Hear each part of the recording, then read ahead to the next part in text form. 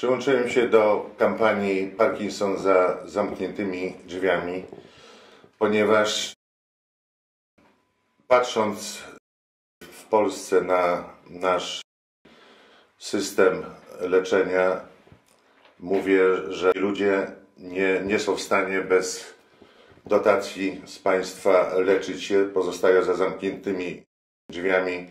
W całej Europie są metody leczenia finansowane przez państwo, natomiast w Polsce nie wszystkie. I to powoduje, że właśnie w młodym wieku ludzie pozostają poza społeczeństwem, za drzwiami.